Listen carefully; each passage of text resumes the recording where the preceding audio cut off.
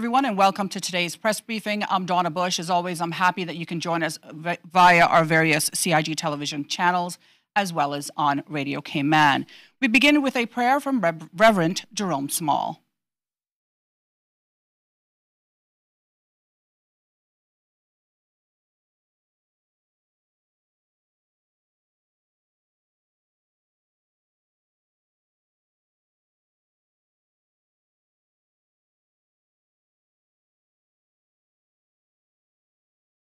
Mindful as well that all across the world, there are voices that often go unheard amidst this pandemic.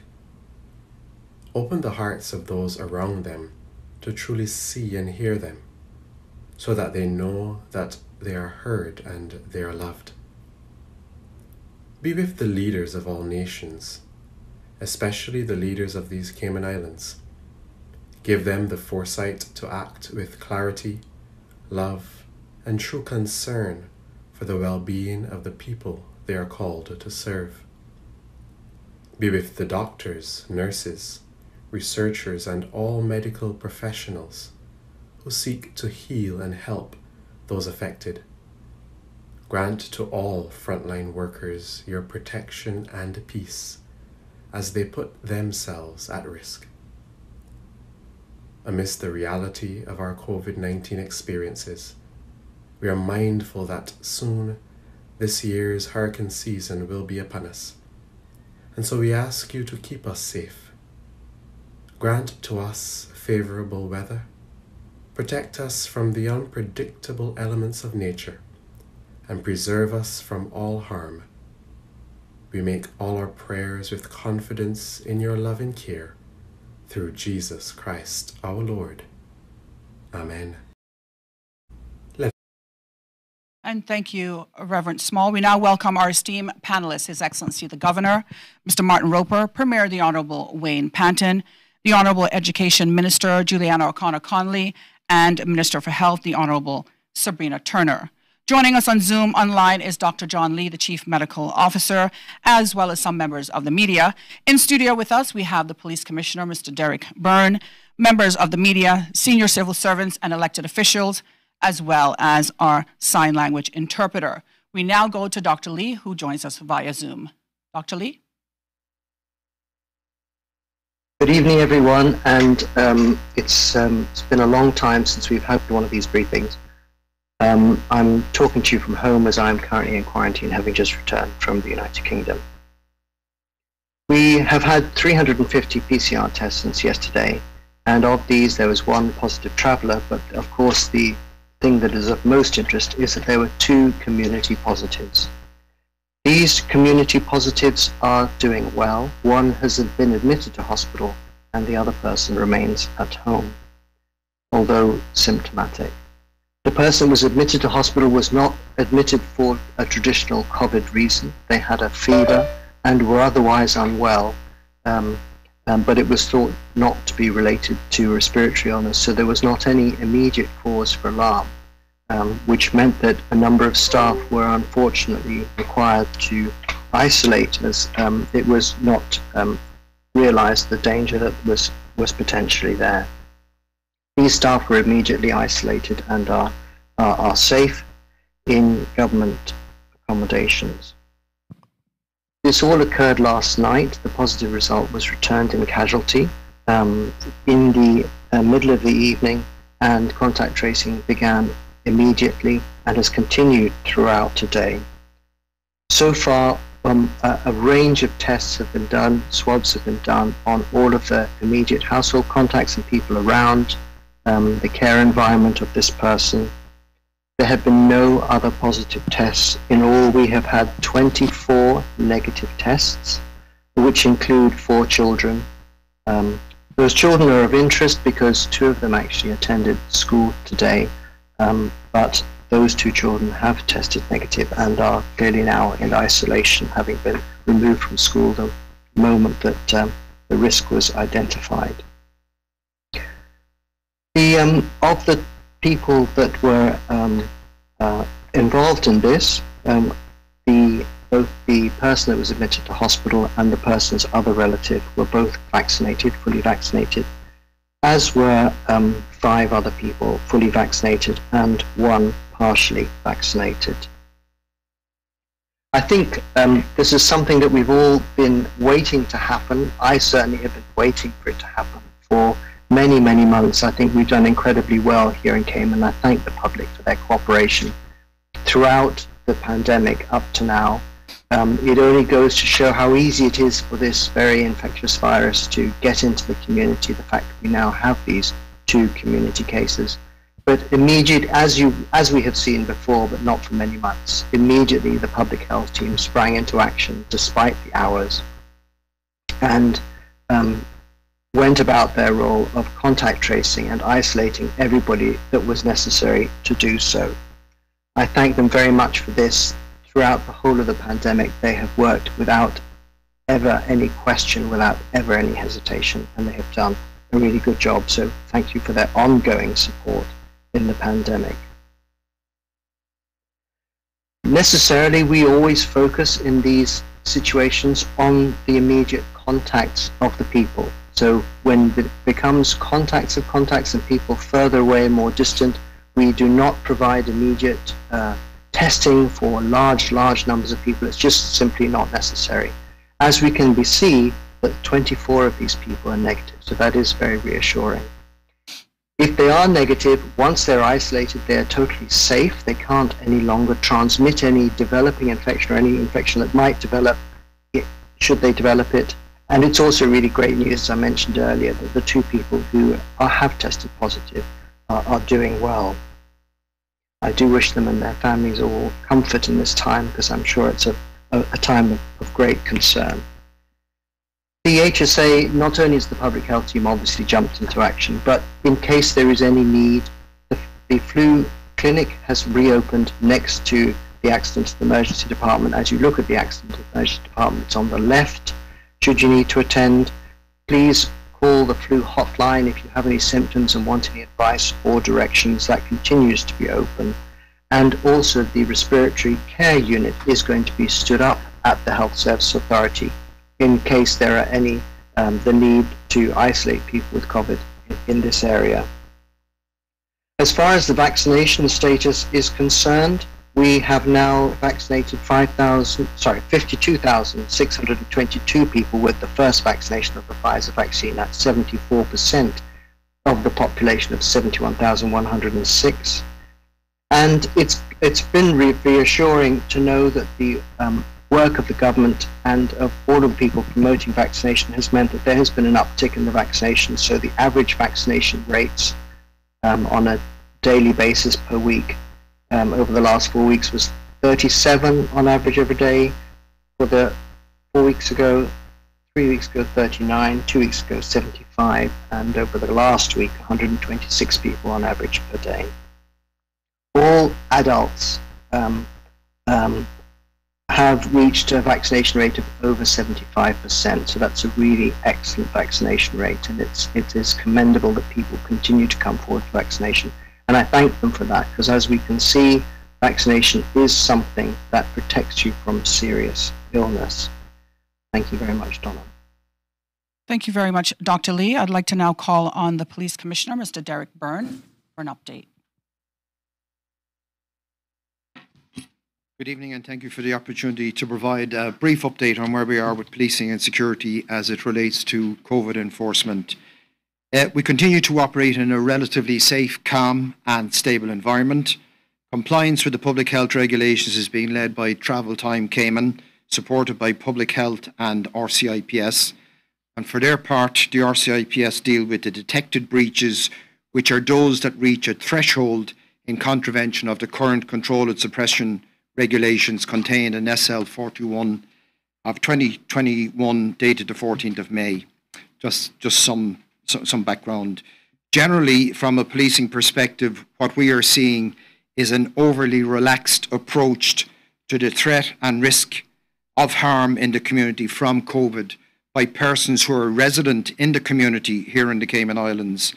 And that is predominantly breaching regulations by visiting persons in quarantine and isolation to deliver goods and remaining there for longer than is permitted and on some occasions, we're seeing people engaging in drinking and playing dominoes adjacent and lawns adjacent to the place of isolation or, or, or um, quarantine. So I'm asking to, to, to remind persons that this should not happen as it defeats the purpose and intent of the regulations to protect the community and control the risk um, of transmission.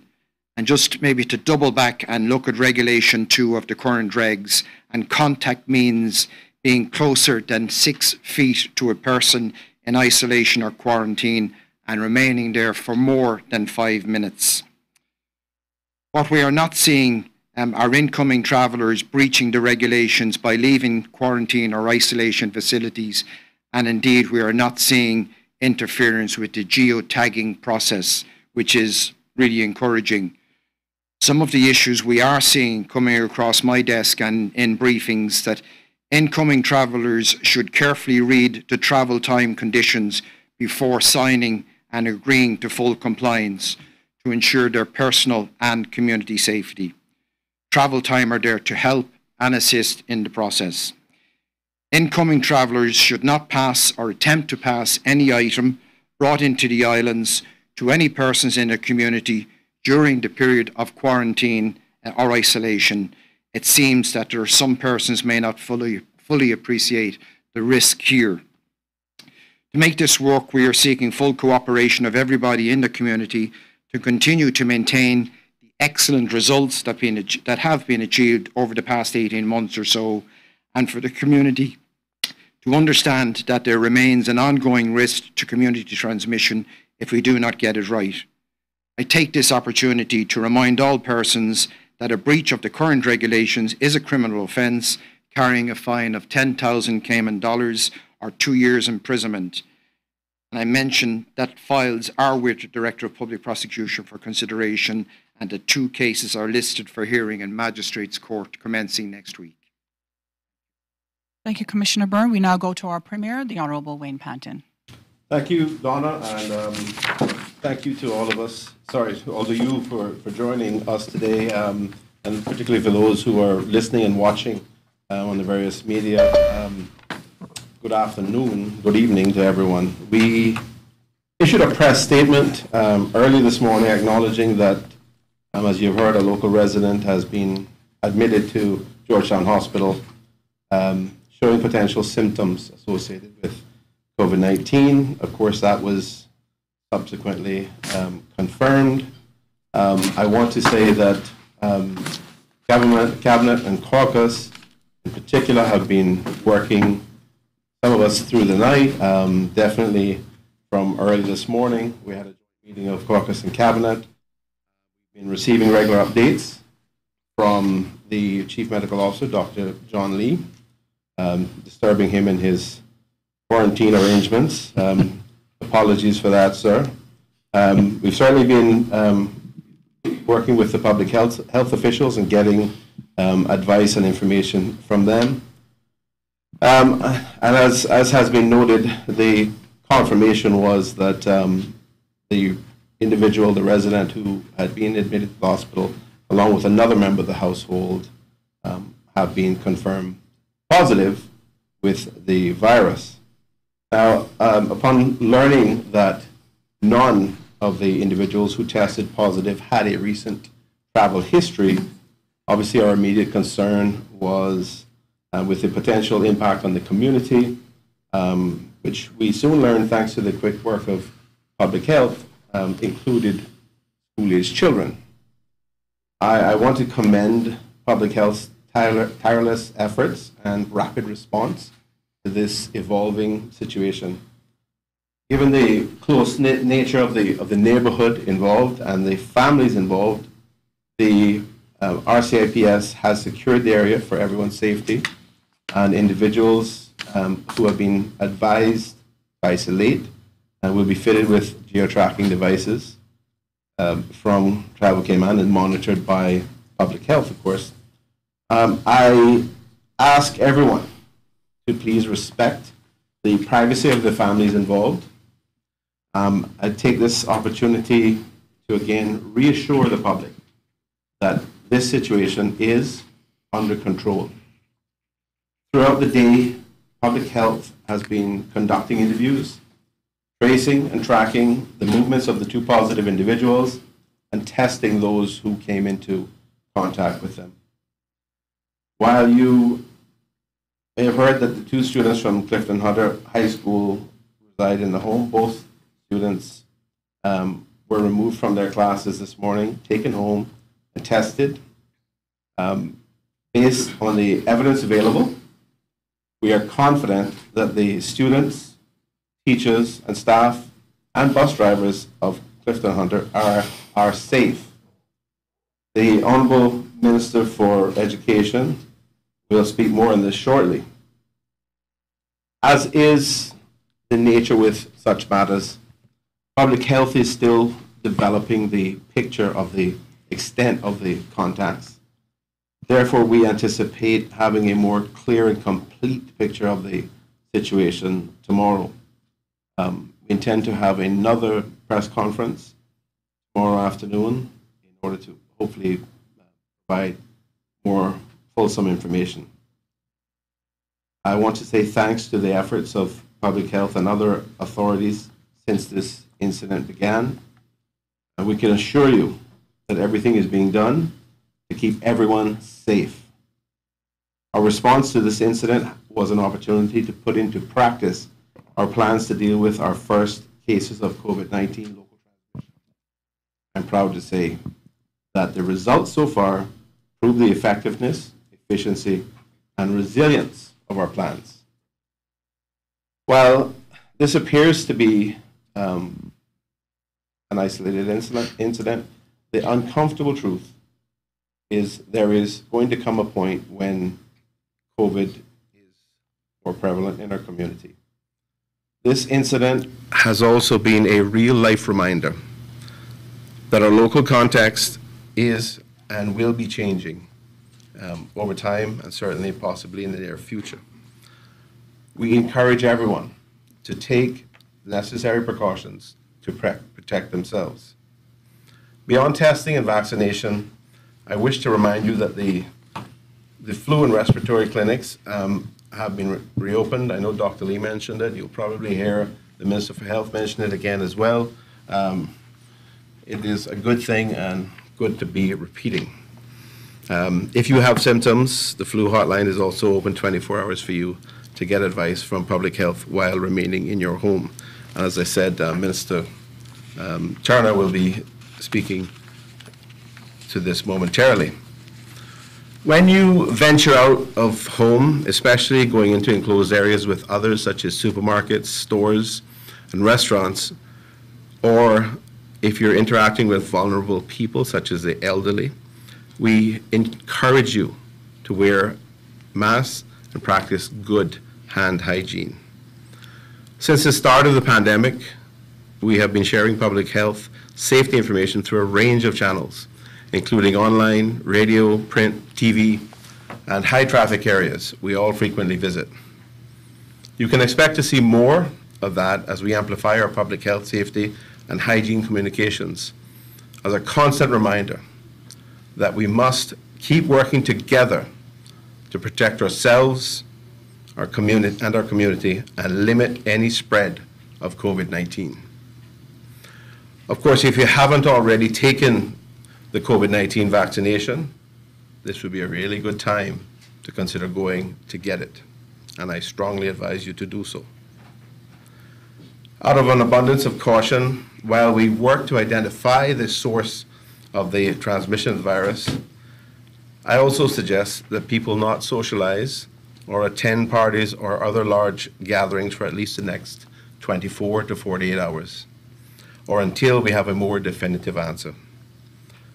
Care for others and compliance with public health safety measures were essential to getting us through the peak of our COVID 19 response, and in, indeed, due to no evidence of community spread in a very long time, our behaviors may well have shifted and some of our discipline around community health, health may have lapsed.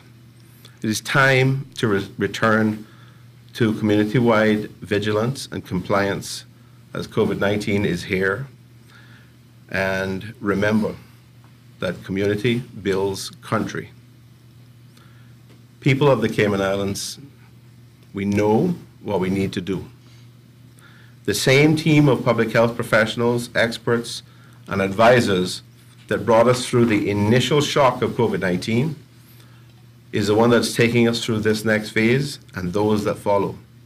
I trusted them then, and I trust them now, and so should you.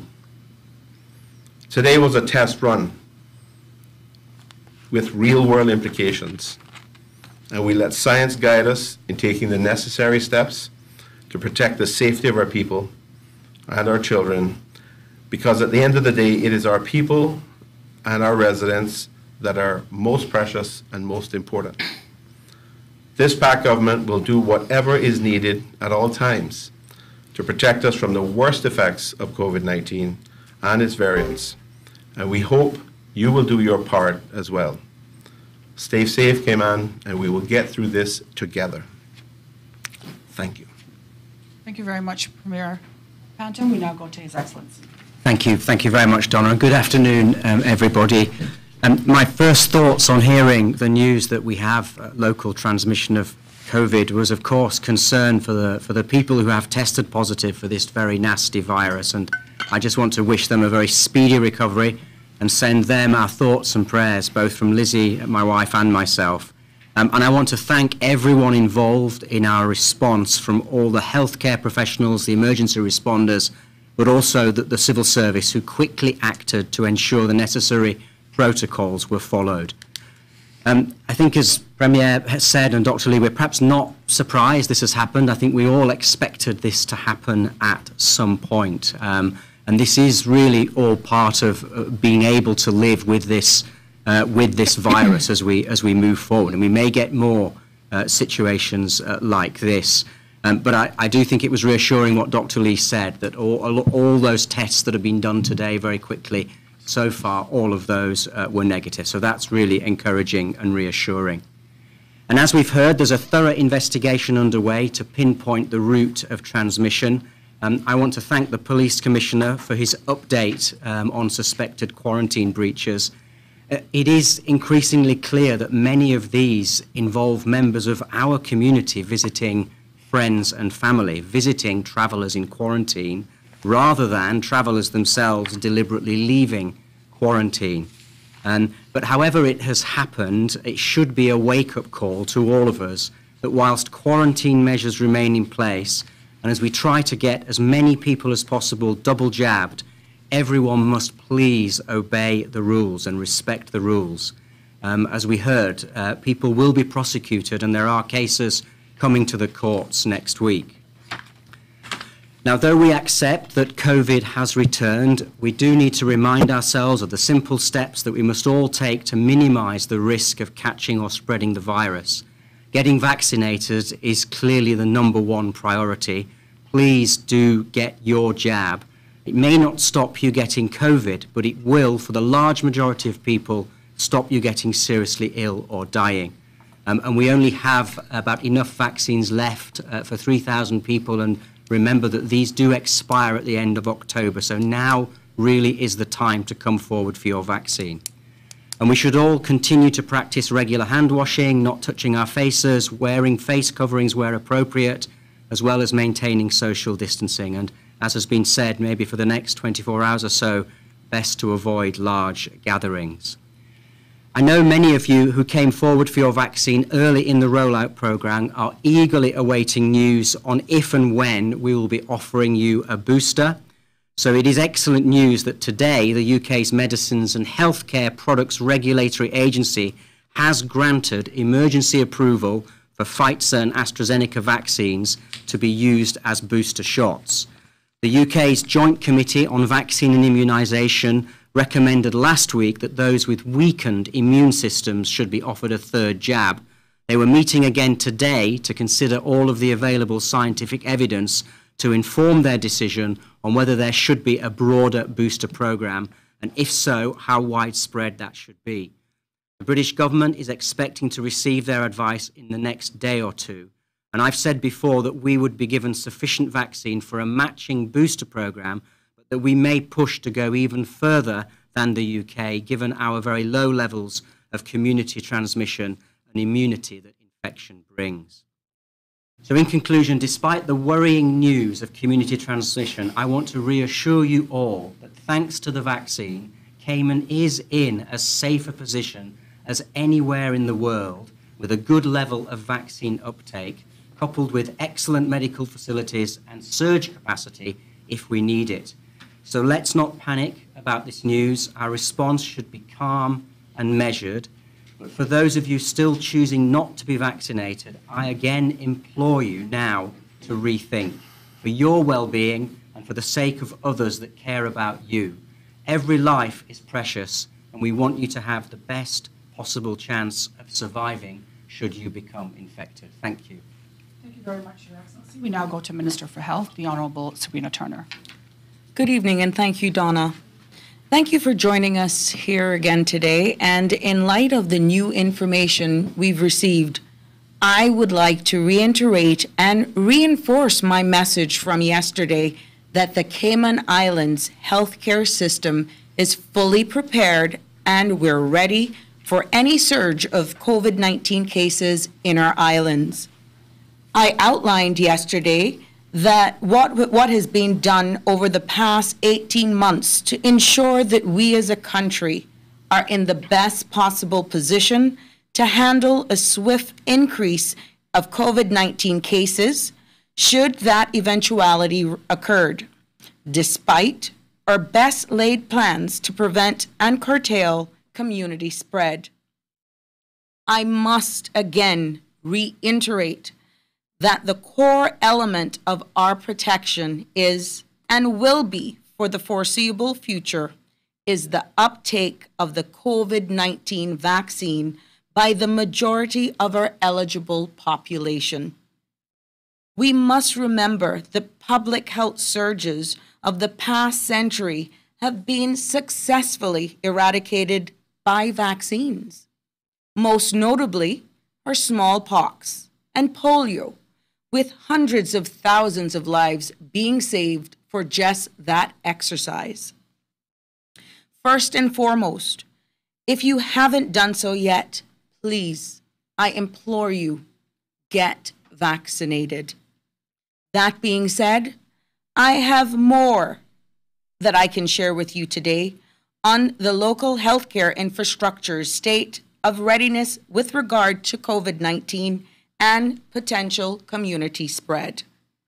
In light of today's positive results, Public Health deployed a team to conduct contact tracing shortly after the results were received.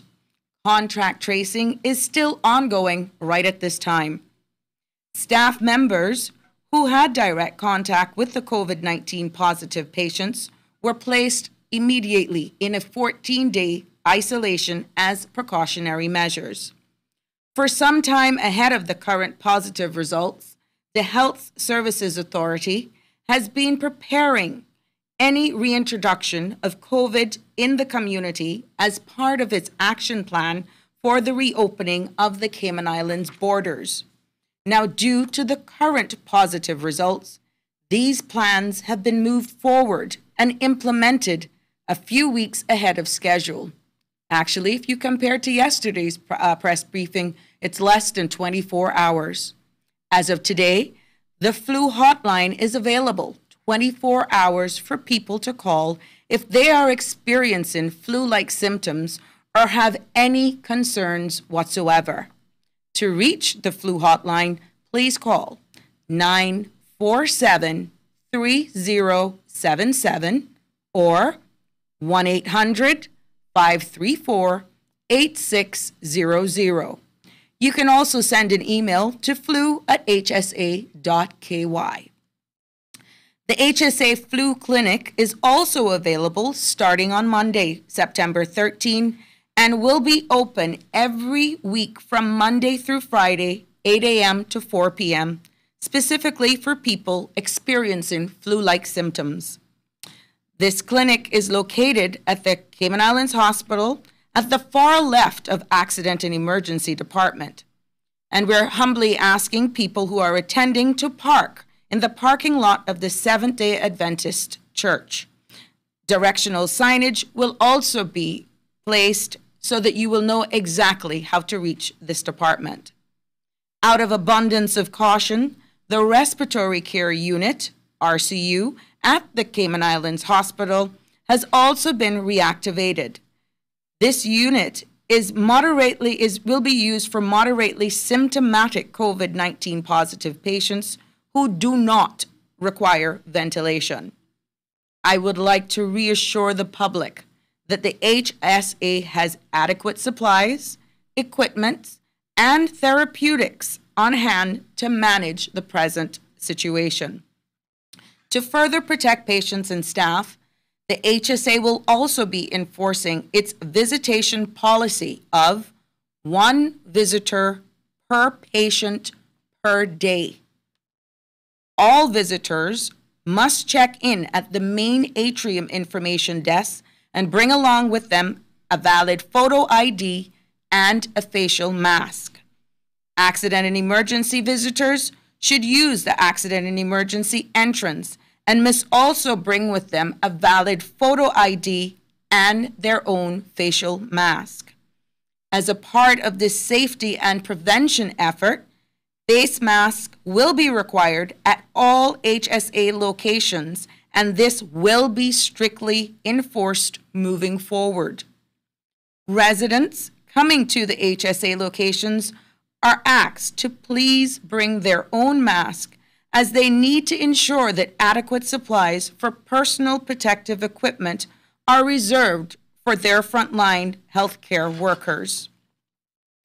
As you understand from this list of protocols I have just outlined from the HSA, behavioral changes and a dialing back of the easing of some restrictions with regard to daily activities is going to be necessary to curtail and prevent further community transmission of the COVID 19 virus at this time. We must all recognize that changing our behavior and adhering to COVID 19 suppressions protocols will be vital moving forward. A key part of this following proper will be following proper hygiene, hand hygiene practices, maintaining social distancing, and wearing masks if required. A social distancing throughout attention of hygiene have been proven to be the best form of defense against the transmission of COVID 19. The following ways is doc- documented and is proven to be effective. Frequently hand washing techniques with soap and water or an alcohol based hand, hand sanitizer, remembering that hand sanitizers with more than 60% alcohol content are most effective in killing microbes.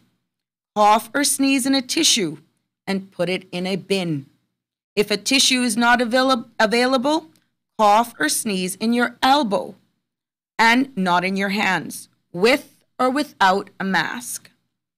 Stay at home as much as possible. Only leave for essential trips. Practice social distancing, which means staying at least three to six feet away from people who are not members of your household at all times. Mask must be worn in, in the public, but must be accompanied, accompanied with other prevention measures listed previously. It is recommended to maintain distancing where possible, especially in public places, and consider the use of masks, especially for the vulnerable.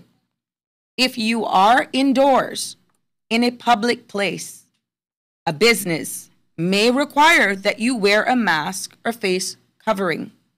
Businesses have the authority to require any person who visits their establishment to wear a mask and refuse entry to any person who refuses to do so. You are still legally required to wear homemade masks or face coverings in healthcare facilities, residential homes or care facilities, prisons or place of detention, airports, taxis, or omnibuses, and any other place specified by the medical officer of health. Please be reminded when using a taxi, omnibus, or school bus, the driver and all passengers must wear, must wear a mask or cloth face coverings at all times. Beyond the following, um, these, pre- these prevention suppression practices, it is imperative that we all follow and observe quarantine restrictions to prevent unnecessary spread into our community, as alluded to by our Commissioner of Police. These regulations are currently being rigorously enforced, and we will continue to do so.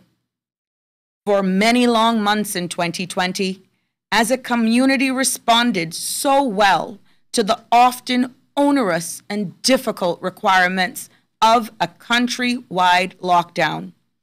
Now, to avoid this happening again, let me implore to each and every one of you that we all do our individual part for, for the collective good and work to keep our islands and our loved ones safe in the midst, in the midst of this ongoing and exhausting pandemic. If we all work together and remain focused on our ultimate goal of safety, reopening of our borders, we will overcome this time of hardship and once again be a thriving community versus a surviving one. Thank you for your time. Thank you for your understanding and your cooperation. For Education, the Honorable Juliana O'Connor Connolly. Panelists, ladies and gentlemen, wider Cayman, good evening.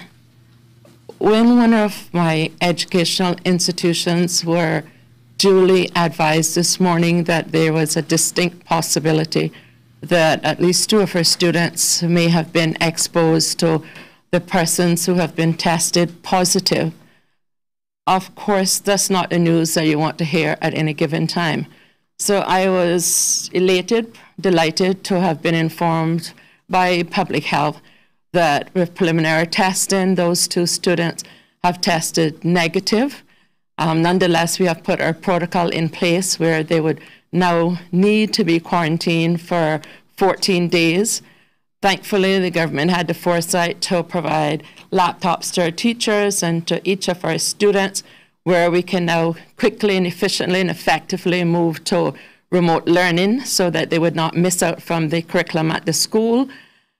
And I am wishing to express my profound gratitude to Dr. Lee and Lizette, Dr. Williams, um, Dr. Jefferson, Dr. Brown, and all those associated and coming together so efficiently to implement the plan that we have in place. A plan is only good to academics if it's on paper. We have now passed that juncture, Cayman. We've now had our first test run in a long time, and that was today. So as I speak to you, fellow Caymanians and residents alike, I want to pose the following question. Is there not a cause for us to be still and be cognizant to recognize that we are fortunate that we have an ample supply of vaccinations, that we have highly qualified medical staff, that we have a caring government whose modus operandi is community built country, that we have an Abba Father God, that there's still significant amount of our population who can call on him and rest on the confidence that he's delivered us before and is more than able to deliver us again. But might we remind ourselves, Cayman, that there's a fine line between faith and foolishness. There is still ample opportunity to get yourselves vaccinated. The government is willing to come to you. I'm sure that it would not take much in mitigation with my honorable colleague, the Minister of Health, and this, the team under her to put these testing facilities within the district as so that you can have a peace of mind. But is there not a cause, Cayman, for you to now take responsibility if you have been lackadaisical in getting your vaccination to go to the facility and ask? We want to have a good problem, you see, Cayman, where we have to get extra staff out to administer the vaccinations. Fortunately, for those two persons who have been subjective to this awful disease, COVID 19, they have been vaccinated. And although the jury is still out, we are confident, based on the scientific evidence, that their chances of survivability is greatly enhanced because they have taken the time to have reason. We would have note that one of the persons, COVID came to her. She's not out and about in the community, but because there are no because there are no selectivity with COVID 19. Doesn't matter whether you're 75 years old with underlying conditions or you're a student at one of my institutions. COVID is not subject to the rollover immigration policies, neither is it subject to other immigration restrictions.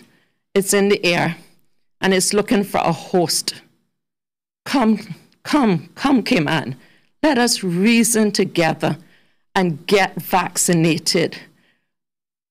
Because COVID is a moving agent, it's mutating to more complex variants. You have to take that responsibility, Cayman and residents alike, to go and reach out because my students, unlike many other students in the region and the world, have gone back to school for face to face learning. And you owe it to the next generation, those of you who are eligible to be vaccinated, to protect not only yourselves, but my students, so that our curriculum and their learning and their opportunity that this government seeks time and time again to afford our students is available without undue interruption. COVID 19 is no longer novus actus interveniens. As I tried my best to explain the last time, it is a fact that it's out there. And that fact has come one step closer to home. You don't know, neither do I, who will be the next host for COVID. So take this opportunity tonight. Sit down, your students, my students, have a heart to heart talk with them. They are mandated to wear masks in the public transportation which the government provides. There has been some resistance with this.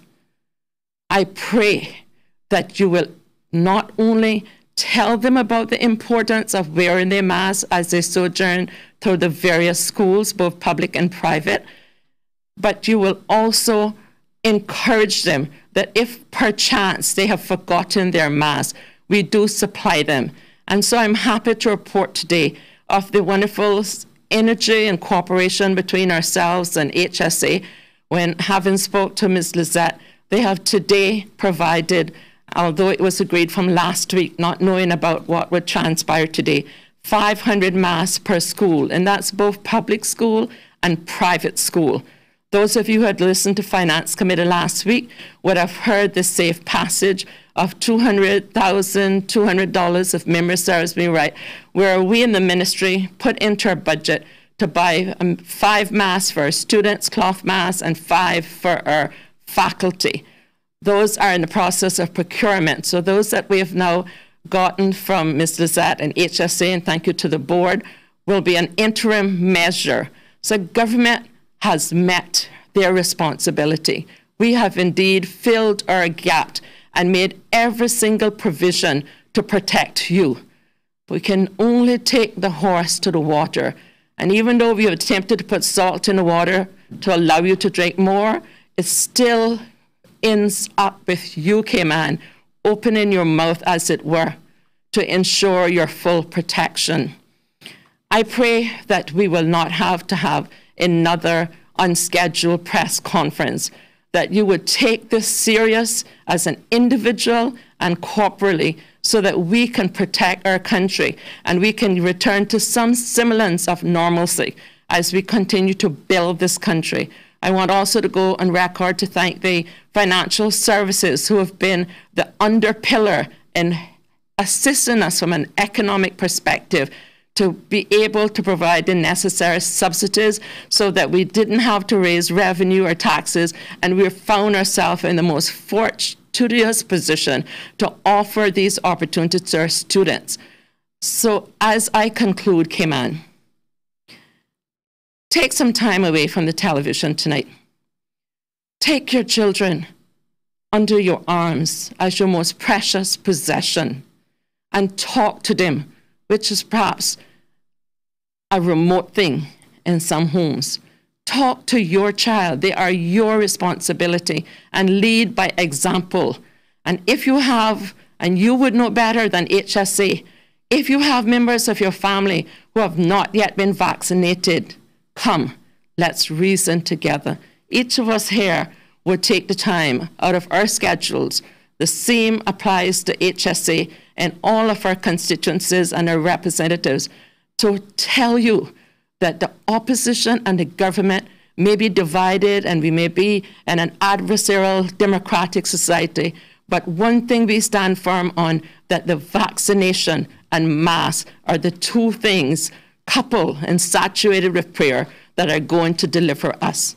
So let us reason together and come tomorrow morning. May there be a new sunrise in Cayman where we can report that people have come to their senses and selfishness has been thrown into the sunset of today, and we can arise as a jurisdiction that is exemplary to this entire global world. I thank you. Thank you very much, Minister Juliana O'Connor Connolly. We now go to members of the media, starting with CNS, Wendy from CNS, who is joining us via Zoom. Wendy?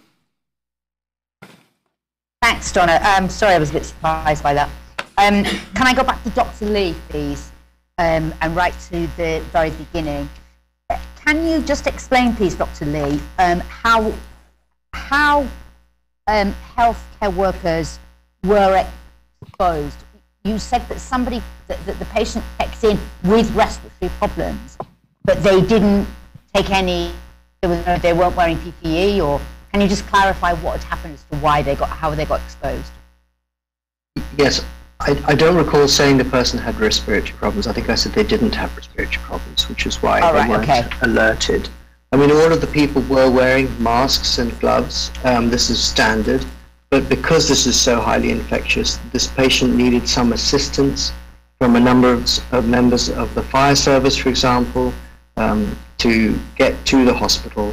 Um, and because there had been close contact, even in spite of people wearing personal protective equipment because there was it was not thought to be a COVID risk um, for the uh, for the most cautious approach in order to protect the people that they serve. We've put them into isolation for 14 days.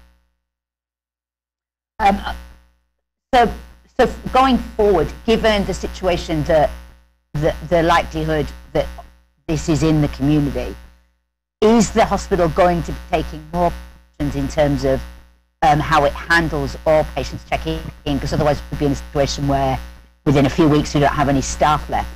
If you, absolutely, if you I, I mean that absolutely, and that that has been the conversation today. You know, how could we prevent this from happening in the future? We'll end up with no staff, uh, and, and, a number of different um, strategies have been developed by the senior management and the uh, in conjunction with the casualty team. I think for the details, you'd need to speak to the HSA team themselves, but I, I've been party to those discussions, and I know they've been working on it very hard in order to make sure there is continuity. Um, okay. Um, yesterday, I asked Dr. Williams whether he had any concerns that the that the virus had um, already leaked into the community, and he seemed quite confident that it hadn't. Given this circumstance, obviously it has, and given the some more than 50 breaches of of quarantine that the police know about. So there's obviously going to be some that we don't know about. Um, how how confident are we now that this is not everywhere? And the, the only reason why we're not seeing anybody yet is because every, a lot of people Yeah. are vaccinated. So it's not until somebody gets ill that you're going Yeah. to know about it. Yeah. I mean, I, th- I think there's sort of two answers to the question, and, and although Dr. Williams and I often agree, I might disagree on this one, um, because I have been, I've wondered how, how on earth we've managed to not have any demonstrable community COVID for all this time. Um, uh, there are little breaches all the time that happen. Um, you know this because it's a highly infectious disease, and even surgeons get patients who get infections um, all the time.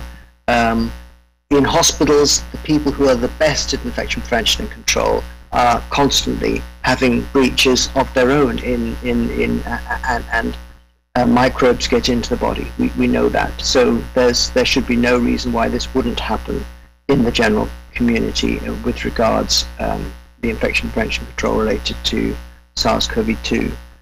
Um, however, yes, you're right. We are vaccin. We have a, a large number of vaccinated people, which undoubtedly is a protection.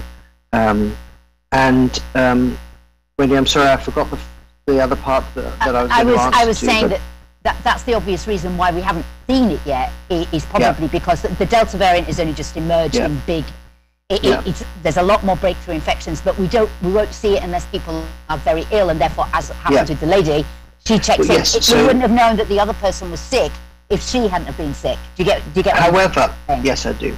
However, we do. We have continued to screen very actively a, a large numbers of the population, whether they and this is not something that's necessarily reported regularly. I mean, I re- I give that report, um, but not in huge detail as as I might have done eight or ten months ago. But we are regularly screening around the ports and around healthcare.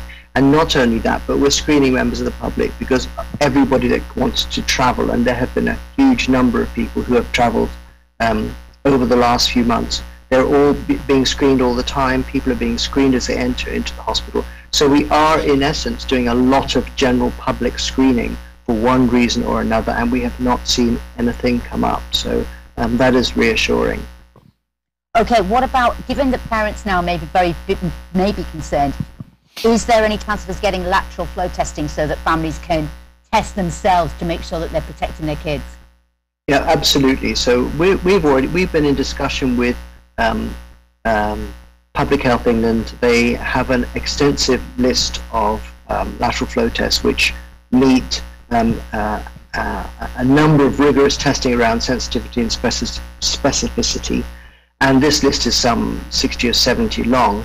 However, the lateral flow tests that we would that I would wish to deploy in Cayman or recommend that we deployed would be ones that would be at the right price point, bearing in mind the sensitivity and specificity, and also such that we wouldn't need experts because we would be ideally like to deploy them really quite widely so that anybody could basically, if there was any hesitation, they could do a lateral flow test. Um, Crown agents, who are the purchasers for the UK government because they have a large um, purchasing power, and have managed to um, obtain quotes on a number of different lateral flow tests at very advantageous rates. So rates of around two um, British pounds per test, which um, is is considered, you know, it, it, it's it, it's uh, leaps and a huge magnitude of difference between that and a PCR test, which might Yeah. cost 100 150 dollars. And we'd like to deploy, deploy them, but we haven't needed to up until now. As we begin to open up, we are beginning those discussions about how we'd use them, how we'd get them in bulk here, um, you know, and, and, and, and how we would share that, um, share those with the public so that they had easy access to those. Okay, thank you. Um, the other questions that I have done are probably for the Premier. It's more about regulations and things if I could, can I ask those? Yes, those? please go ahead, Wendy. Uh, thank you. Um, I can't see, it's just I can't see on the screen. So I, my question to the main panel would be, um, how quickly are you considering changing regulations, if at all, say, for example, for um, crowd sizes, things like that, or at this point, do you not see any need to change anything?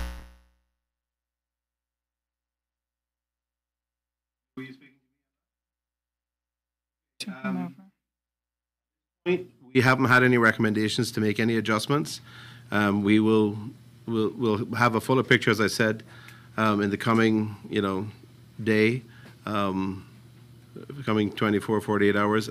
So we'll see how things, um, how things look, but at this point, um, there doesn't seem to be any, any particular need to make any specific adjustments. But obviously, we have the ability to move very quickly, um, and if it is necessary to do that, um, we will certainly be in a position to, to make those kind of adjustments and to respond to the recommendations from, from the public health team and from the program board who, who will be advising in respect of these things. Uh, also, I know that obviously the, the, the question of, of the 14th of October still remains there, but we still have some six week, five weeks or so before then. There, there has been some discussion. I know that I know the opposition are criticising about it as well, but it is actually a fact that five days probably isn't a, a long enough incubation period that people can still test positive for the virus 10, 10 days or more after being exposed. So are you still comfortable with just the five days? And are you still comfortable with people isolating on trust? Is that for me as well? But whoever, whoever wants to. Well, I mean, I, will certainly. Sorry, Mr. Premier, I can't see anybody, so it's hard Yeah. to uh, hard to gauge who's looking at who. Do you know what I mean? Um, uh, in, in relation to the five-day quarantine, obviously, um, the advice is there is a degree of risk with that, um, but we were certainly advised that it was appropriate to, to be able to move forward.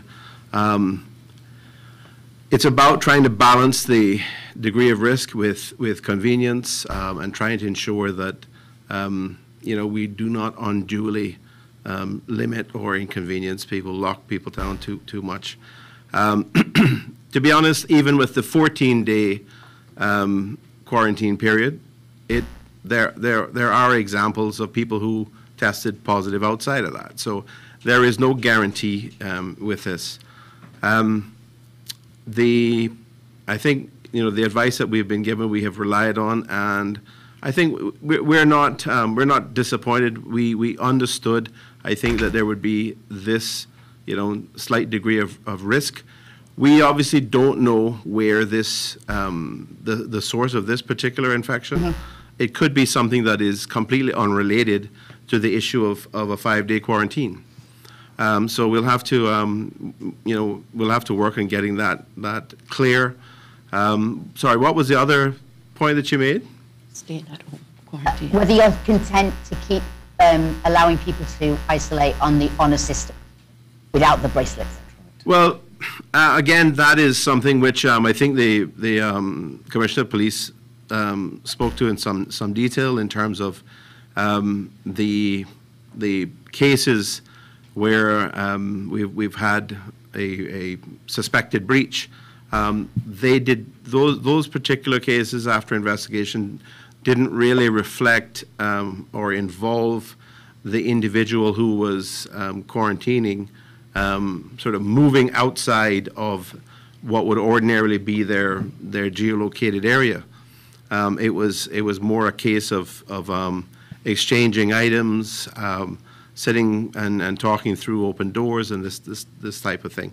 So I don't I don't think there is the evidence to suggest that we need to address that right away. Obviously, um, we you know we can reconsider that at any time if if the commissioner advises that um, there there are situations where that may be happening, um, and the, the question of of um, geotagging then becomes very relevant again. Obviously, we will re- reconsider that. Okay, thank you. I'll, I'll step down because I know there's other people that want to ask. Thank you very much. Okay, thank you very much, uh, Wendy. Uh, Before we go to the gentleman from the media uh, in the room, I have a few questions to ask on behalf of CMR as well as Cayman Real News. Um, The first question from CMR um, is asking whether uh, consideration is being given to introducing mass or making it mandatory mass to be reintroduced. Do you want to address that? Minister, or do you want me to do it? You can go All right. I think we alluded to it before. Well, I mean, we, right now, we're recommending um, that people um, utilize masks when they go into areas which is high volume and enclosed spaces. Um, That is the, you know, the, the smart thing to do, particularly for people who are, um, who have some vulnerability. Um, You know, the, in terms of schools and that sort of thing, it, it is possible that we may get um, to that. But we, when, when the, if, if this issue of transmission um, can't be identified, um, obviously, I think we're going to, we're going to have to rethink our, our approach. Um, and we, we would have been at this point um, if we moved into phase four, where we would require masking in schools, um, not just on the buses. Um, but I think, given um, that you know we have this situation right now, we, we have to see how this plays out and what the particular circumstances were. Um, but I think there is there is a chance that we move in that direction. At the moment, we're not um, going to mandate that, except as currently exists in terms of transportation um, on buses and that type of thing. What about um, vaccinations in school for kids who are able to get the vaccine? Any consideration being given to making that mandatory? We have, we, we haven't had those, um, those particular discussions around that. Um, there is, uh, I suppose there is, there will be some possible discussions there. We're, we're really waiting to see what, um, the UK uh, regulatory agency says in relation to, um, in relation to the vaccines um, application for, for younger, younger children. Um, It could be that if that is, if that is approved, um, we may reconsider the whole approach with, with um, school children altogether. But, you know, it's not something that, that we are going to be promote, promoting right now. Okay. A worst-case scenario question is asking um, if the HSA uh, becomes filled to capacity or we have to go back into a lockdown um, and HSA is filled to capacity with uh, COVID-19 patients, uh, where can civil servants go for medical care? And um, if, it's a question. Yeah. Can I preface that? Uh, uh, Somebody from, somebody from the uh, medical field would need to, will need to, to I to while- speak to that, but I don't think. Somebody's getting ready to answer. Maybe I can reiterate or re-emphasize that is there not a cause?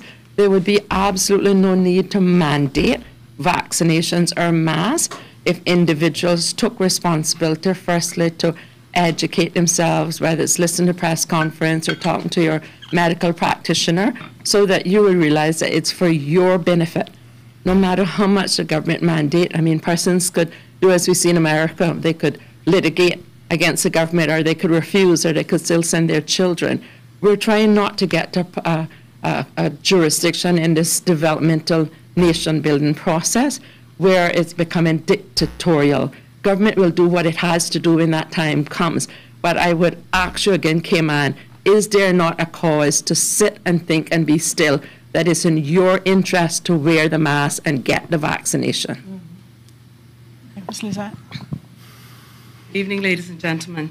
I'd just like to reassure the public that the HSA is prepared for the reintroduction of COVID-19 into the community, um, which has been a part of our reopening action plan now for quite some time. So this is just a matter of moving that plan up a few weeks, and that's the reason why you've seen with the resumption of the flu clinic and the respiratory care unit being established. And um, once again, I just want to encourage persons who are experiencing flu-like symptoms, because there have been a number of people who've been experiencing flu already this season, to please stay at home and contact the flu hotline. The flu hotline is going to be answered by a healthcare professional that will screen your symptoms, screen your travel history, and vi- advise you accordingly. If you, if you actually experience increasing symptoms, a deterioration of your health, you're then encouraged to call 911. Because what we don't want is a number, a large number of persons with flu to be turning up at the healthcare facility. So once again, I just want to reassure the public that you have a healthcare team We have our medical director here who has been meeting regularly with the team, um, both from the private and public sector. That is our health task force that is combing the research and making sure that we um, update our plans, make sure that we are in the process of um, making sure that all the necessary pharmaceuticals are in place. We have more orders on, on, um, in hand as well um, to make sure that we at the HSA is prepared for any eventuality in the event that we should see increasing numbers of COVID-19 in the community. Thank you very much. Thank you very much, Ms. Yearwood. A few more questions. These are from Cayman Real News. The first one is asking, I think Minister Turner might be able to address this. Will the HSA offer home testing kits free of charge like the NHS in the UK to enable people to actually test themselves? That is something definitely that we will consider. And once it is a public health um, initiative, um, where the costing is concerned, once it's driven by public health, the government will support it. But again, these are all things, and hence the importance of us engaging with the community um, and having more frequent press briefings as we're, we're guided by those who are giving us advice that we will be dispensing from this forum in the coming days. Okay. The other question um, asks, uh, in order to encourage more to become vaccinated, some countries have af- actually um, introduced uh, a system where people have to show proof of vaccination to get into places, public places like, like restaurants. Is this something that Cayman may consider at some point? Do we I want think to I've go already there? gone down that path, um, and I have, I have indicated that certainly that is something that is, um, has been considered. Um, We, we have not made any decisions um, uh, uh, on that. Obviously, with, with the um, hopefully imminent release of the, the um, HSA's app, um, that, you know, sort of opens up that possibility, but no decision has been made on that. But that's obviously something that, you know, could, could be considered. Okay. Uh, When you mentioned the HSA um, app, are you talking about a track and trace app? And if not, is that something we're considering? No, that, I- I'm, I'm referring to the, the app which confirms your vaccination. Okay. Um, But there's a question here about a track and trace app like that has been introduced in the UK. Um, Is that something that may be considered for here? You can track and trace people from their app, from an app? I'm aware of the app, but I don't know whether, I mean, can someone else speak to that? I don't know whether that has ever been considered for use here in, in Cayman. I mean, given our size, I think um, it may not be that significant in terms of deployment to, to utilize, or try to util- utilize that. Okay. No? No further, okay, no further comments? Um, We're Donna, going to. What I can say, though, that if persons who were a bit apprehensive and want to get vaccinated, uh, they can do so this evening at the West Bay Health Center. And from what I'm seeing by reliable sources, there is a, a pretty decent crowd that's there. So that's encouraging. And this will continue uh, tomorrow at the Camana Bay location, tomorrow on Saturday, from 11 to 3 uh, tomorrow and 4:30 to 7 at Camana Bay. Also on Saturday, because we're no longer doing it at Owen Roberts International Airport, uh, back at the Camana Bay location, starting as early as 10 a.m. to 2 p.m. And then they'll take a break and they start back at 4 until 7:30. What people need to uh, remember is to wear your own masks and bring your photo ID with you, a valid photo ID with you. And also, if you're going for your second dose, it's imperative, it's very important that you bring back your first card. Okay. Oh, sorry, one final question before we move on to the Compass and Caymanian Times. Um, uh, Mayor Panton, you mentioned earlier that uh, about the 24 to 48 hour window and not really encouraging people to have large gatherings. People want to know exactly what size large ga- would you consider a large gathering? As some people seem to be, you know, they're talking about going to the bars and, and having parties and so on and so forth. Well, I think we, you know, we can leave that to people's um, sort of own assessments, but I mean, it, it is, you know, if you, if you have more than five or 10 people gathering um, in, in an enclosed space, um, that may be um, a consideration. Look, it isn't going to hurt for people to stay home and, and have a relaxing evening, um, you know, not, not go out to have, to attend parties or go out to bars or that, whatever it is they're doing. for 24 hours. Let's just do, um, you know, what we need to do in, to, to try to ensure that we have our hands around this issue. So that by tomorrow afternoon, we have a lot more clarity and hopefully we can, you know, we can be sure that we understand what, where this, um, the, the source of this infection and how we need to behave going forward. Thank you, Premier Panton. I, I also want to go back to your question there about the, because it's been bothering me a little bit, the question about, um, you know, the where do civil servants go if, if the hospital is full? I mean, the reality is we are, the health services, the public health department, government, everybody is going to be monitoring the situation. Um, I don't see a situation where we will end up with, you know, hospitals overflowing um, with with people. I don't I don't foresee that happening at all, generally. But um, we're not going to be in a position where we have no options open. We we are going to be taking actions ahead of time in a in a proactive manner to protect the people of this country. That includes every one of the civil servants in this building. Thank you very much, Premier Panton, and to the panel. Um, I'd like to call on Andrel Harris from the Compass now uh, for questions. And while he's coming to the, to the podium, remember, HSA is more than ready to, to get the field hospital up and going, and that field hospital is really to house those patients who may not need to be ventilated. So they're automatically preparing to deal with COVID-positive uh, residents, uh, should they have to be tended to. Um, So I agree with the Premier. And the field hospital, if I'm correct, has 60 beds? How many beds? Yeah, eight, 80. 80, Eight zero, okay. yes. Thank you very much. Um, Andrel? All right, thank you, Donna. And uh, thank you, uh, Mr. You answered one of my, one of my questions there with that response, so one off the list. Uh, First thing, can you say whether or not, or whether or not this, the recent positive cases were the Delta strain or not? Not at this time.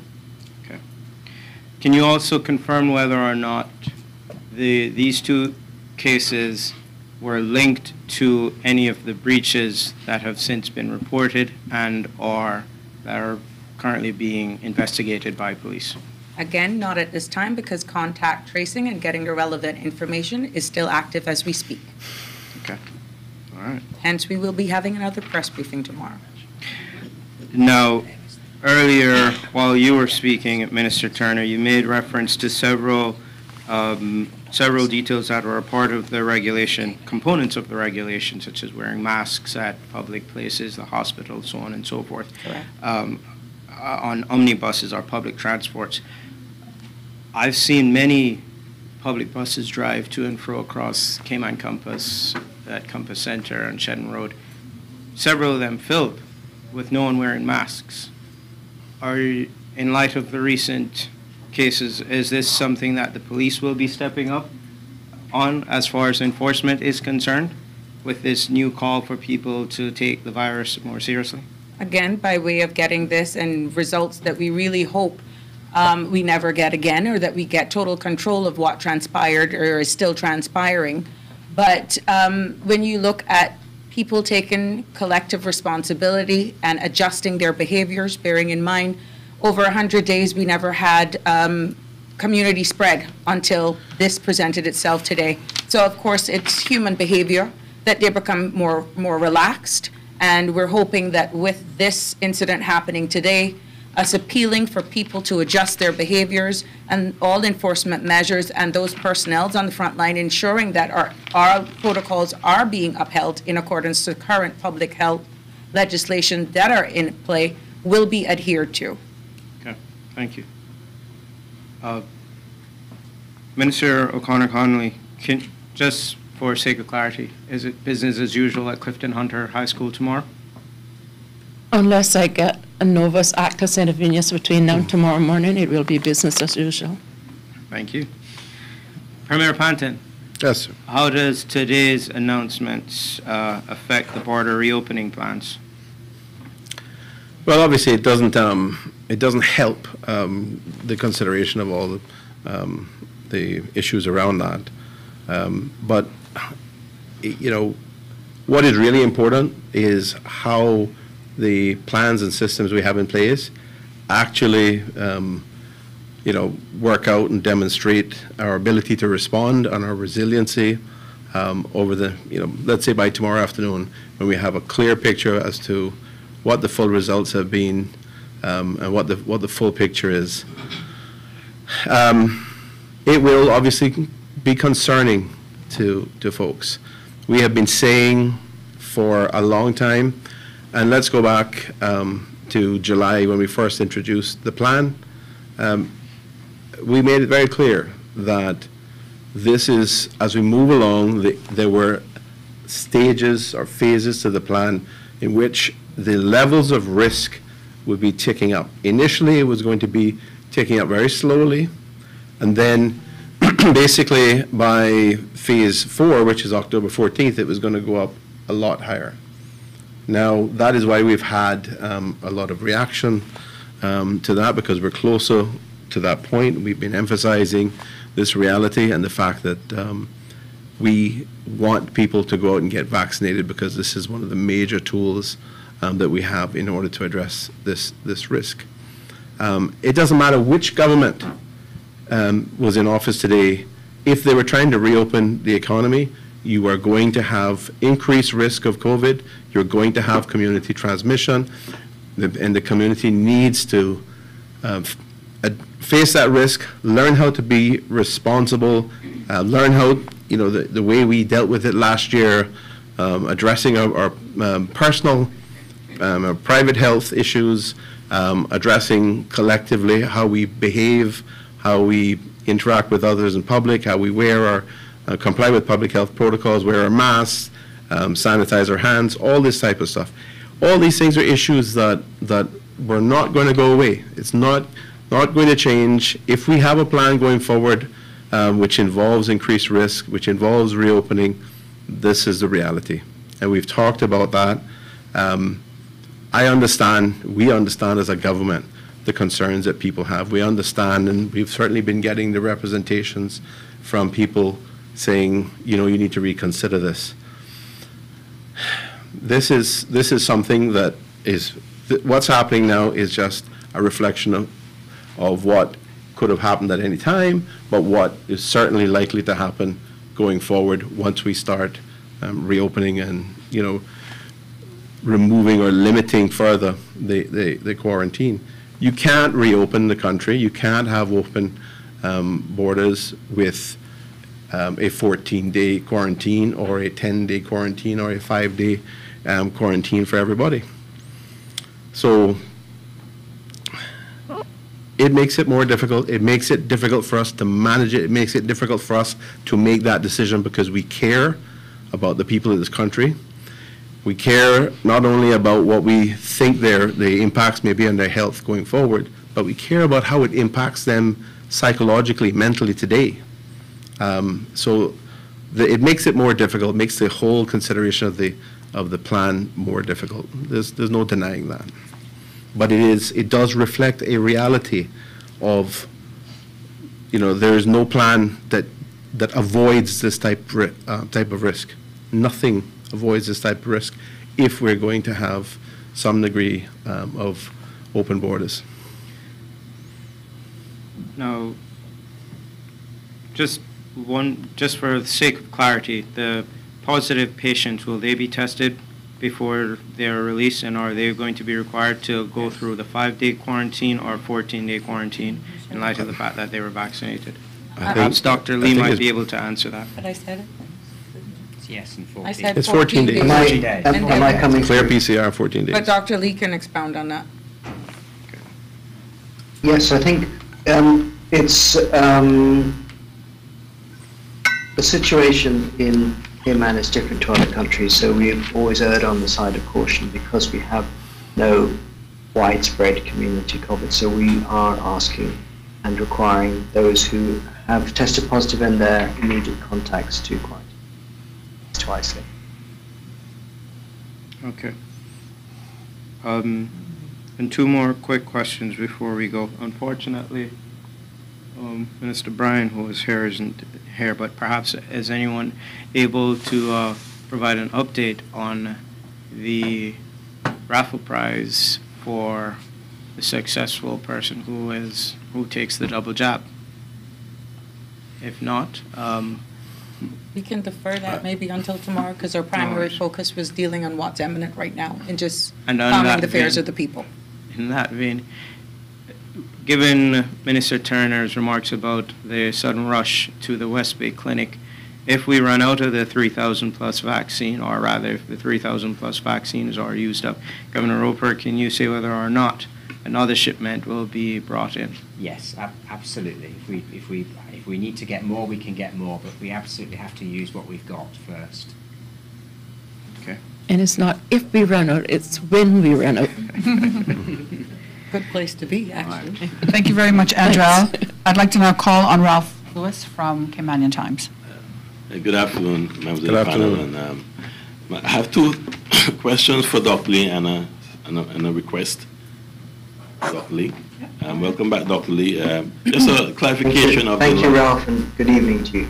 the clarification of the last one of the questions Andrel uh, mentioned.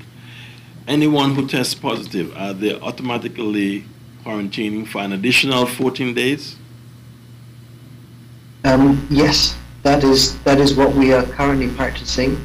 I am well aware that other countries have lesser quarantines or isolation periods for people who test positive, but that is what we have practiced and are continuing to practice for the moment for the safety of the community. If we didn't have widespread community COVID at a low level where there's not a lot of sickness being generated, but we know there are a lot of positive cases, we may well revisit that and reduce the time period because it wouldn't make any sense. Um, because we know that people are less infectious towards the end of March. But the, for the time being, it is 14 days. Thank you. My second question is um, regarding this um, incident that occurred. It appears that we may have the results within a day or two. Um, would the, the information be published regarding the situation, how the um, COVID transferred from the infected person to these people? Of course, with um, ma- maintaining Yeah. confidentiality. Well, absolutely. I mean, everybody wishes to know. We want to know. We want to learn, and we want to share those experiences um, for the public, um, so that we, the whole community, you know, learns together about this. We are we are one community, and we would share that information. Okay. okay. And my final request is, in the past, I've asked for more information on the regular statistics that we get. Um, information is key, and you mentioned that you may not have the resources to provide the detailed information that we requested. Um, do you think that going forward, as we get ready to open the borders, that we could provide more detailed statistics on those daily numbers that you give? For example, when you report on the number of people that were positive and negative, can you say where they were coming from and, the, and that sort of information? Can you give more information going forward, please? If you'd like me to do something else that I do now and drop that, yes. Okay. But, um, unfortunately, nothing has really changed in that regard, Ralph. I'm sorry.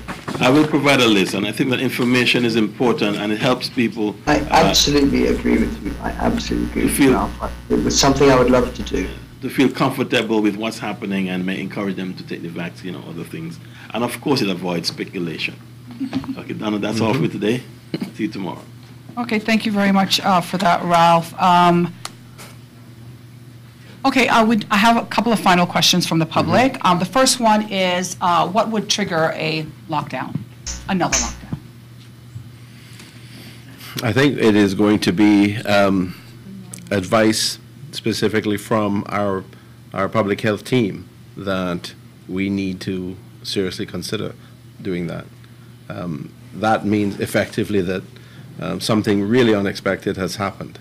Okay, I think before you mentioned, uh, or it was mentioned in one of the press briefings, uh, speaking uh, specifically about the clusters, whether there were various clusters popping up. So, so, so just in relation to that, um, the plan that we have, we adopted in July and published really doesn't say we're, anything about locking down. What it says is that we will reassess, there'll be a trigger event to reassess um, consideration of, of public health um, issues if we find during each of those phases, phases that we have two separate um, groups of, of infections and um, or which result, I think, and Dr. Lee, you can correct me if I'm wrong, but which result, which re- re- result in hospitalization. Yeah. Um, I don't think that the, the plan actually says anything about locking down. Um, Clearly, locking down is something that is common in many other places. We've certainly, certainly done it here um, effectively. Um, But obviously, going forward, those- these are ty- the types of things you want to try to manage um, the, um, the situation in a way that you avoid those. Um, So we're not contemplating that if this happens, we're going to have a, a definite lockdown, but clearly, um, there can be situations in which we are advised by um, public health officials and, and the broader, um, perhaps even the, the program board, that this is, this is really the option that we must, uh, is most prudent, and we must consider doing it. Okay. Um, Another question, this may, this is for one of the HSA uh, experts, the health experts. Um, Which pharmaceutical drugs or medicines are we currently using to treat uh, COVID-19 patients? Dr. Jefferson? Thank you very much, um, Donna. Um, I'm, I'm happy you asked that question, actually, because um, it gives me the opportunity to just um, ask the community to be careful with what they're asking for with respect to prophylaxis. Uh, recently, we've seen a number of patients, a number of persons, um, going to the physician asking for ivermectin at very high doses to um, be used as um, prophylactic um, for prophylactic measures. Uh, yesterday, for example, we had a patient who was given 18 milligrams, which is the which is not a recommended dose, and 75 tablets of 18 milligrams. Now, I am using this platform to beg my colleagues not to um, not to do this. I mean, there are some specific indications for ivermectin, but at a lower dose. Um, patients who have been exposed to coronavirus who are symptomatic, who um, these patients who do not have severe disease, so they are mild to moderate, there is a, an indication for ivermectin at a human dose as opposed to the horse and cow and donkey dose. So it's very important that um, I get this out there into the public so that the public is aware. So now to your question. Um, we've been um, fortunate for us, we've not had many patients admitted with, with um, COVID. Uh, we're very fortunate in that the vaccination program, that's working. Those patients, we've only had less than 2%, like 1.1.6 or 1.7% of those persons who are positive with COVID that have made the way, their way to the hospital for, for treatment. So it's really a very small percentage.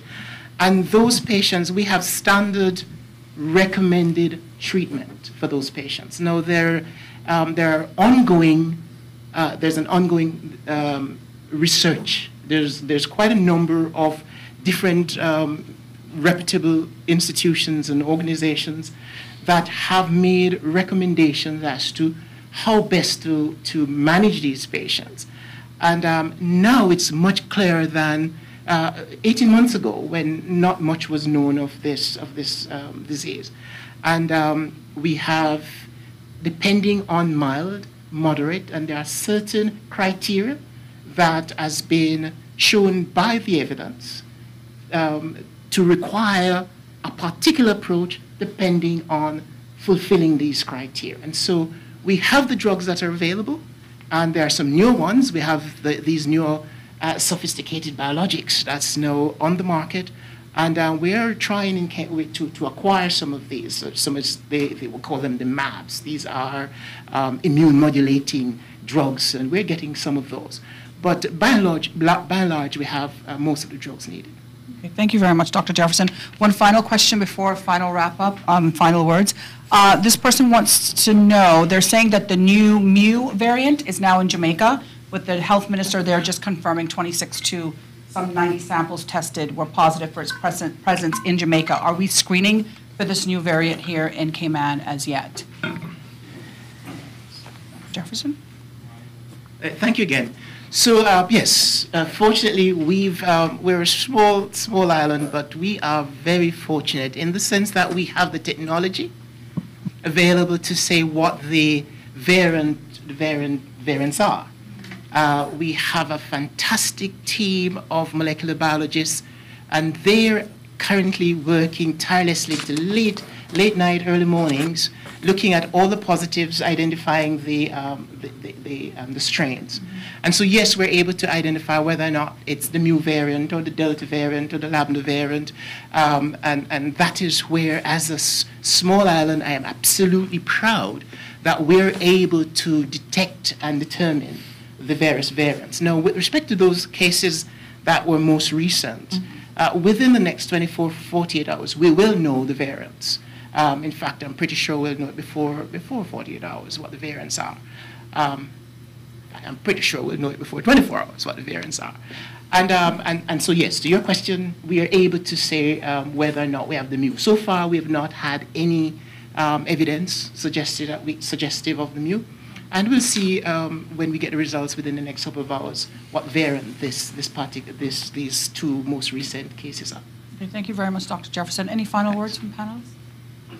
Uh, Just in relation to that, um, Dr. Jefferson, before you, you leave, just to confirm, the, the mu variant is, that is stated as a, a variant of interest. It's not a variant of concern like the Delta variant. Is that correct? Um, yes and no, in the sense that both the, the, the delta and the mu, th- there's not a, as much known of the mu as, as is known of the delta. Delta's been around from for a longer period of time. The mu variant um, is a, a variant of concern. It, however, um, has the potential of causing um, as serious a, a, a disease as the delta variant. Um, but the, the interesting thing about this COVID is that we've, we have to sort of keep our fingers on the pulse of what's going on because as an RNA virus, they are so sinister in the sense that they change so frequently. So what we had 18 months ago um, is architecturally different from what we're seeing now. And so that's why it's important to keep our fingers on the pulse and see what we're seeing. And looking and, and now we're able to be able to detect based on the um, the phenotype, based on how these viruses uh, are appearing, where they're coming from. You know, so we know um, it's most likely to be coming from North America, um, coming from Europe, coming from Brazil, and um, there are certain specific features of the of the RNA that sort of gives an indication as to the possible location, you know, locality of where these viruses originate.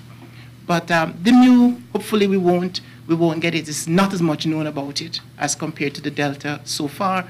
But based on what we're seeing internationally, it is a one, one to be concerned about. And we still have to be, you know, searching to ensure that we don't get it. Thank you again, Dr. Jefferson. Any final words from the panelists? Go out and get vaccinated. Yes. Please. We, ca- we can't hammer that home enough. I, I, I want to reiter- reiterate the, the pleas of all of my colleagues, um, and, and in particular, um, my colleague, Miss, Miss um, Juliana, um, who has been so passionate in, in um, asking people, asking the people of our country to really think through the implications of taking a position of not wanting um, to, to get the vaccine um, and understanding that this vaccine we're getting for free from the UK. It is one of the best vaccines in the world, and it really has demonstrated its ability to save lives. And it is going to it is key to us to our strategy going forward. Um, I want to thank um, His Excellency um, and both of my colleagues generally, those who are in, in, in the audience, and I want to thank those people who have um, been with us now, um, probably close to close to two hours. I really appreciate it. Thank you, Donna, for all the, good work you do. Um, and I want the people to, to, of the country to understand that we are working very hard on this issue. We're working with this wonderful team of people um, throughout the civil service, throughout the Health Services Authority, all the public health folks. Um, we're working very hard to make sure that the people of this country are safe. That is our number one priority. So I want people to understand that, and I want people to be able to sleep well tonight. And tomorrow we'll give we'll be able to give them further information, um, and we'll be able to move on from there. Hopefully, we'll have complete clarity on it, but there's no guarantees on that. Um, so thank you all very much again. I really appreciate it, Okay. and we'll see you tomorrow. All right, thank you very much, uh, Premier Panton, and to you, the public, and of course, the media and our panelists for all of this vital information. Um, Of course, you can watch this press briefing again on on the CIG Television uh, YouTube channel, and remember, you can go online to gov.ky as well as hsa.ky for the latest on vaccinations and COVID information. Until tomorrow, have a wonderful evening, everyone.